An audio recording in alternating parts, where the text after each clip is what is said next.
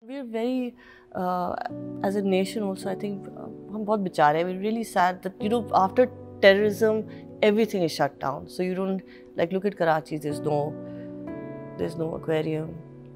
There's, even if you have a match here, the whole city has to stop because there's so much security issues and it becomes such a huge thing. If, if, a, if a concert happens or if an exhibition of some sort happens, how do you make ensure that the uh, crowd remains calm or doesn't misbehave. And this all happens because we just don't know how to handle public spaces. We, our, our, our younger generation doesn't know how to behave in a public space anymore.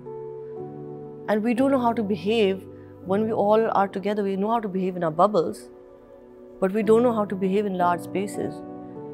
Um, and that's a tragedy really because it's these public spaces that teach you how to interact with others, how to, you know, um, behave with your fellow citizens. How do you uh, communicate with them? How do you interact with the stuff around you? Anywhere we go, if you've ever gone anywhere after the event is finished, it's trashed. It doesn't matter what level of society it is. We have no civic sense because of this.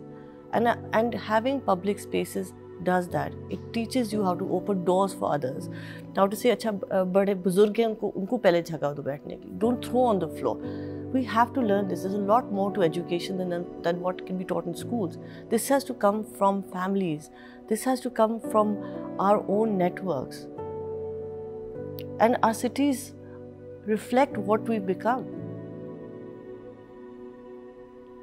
they have and this is why public and informal spaces of learning are so important.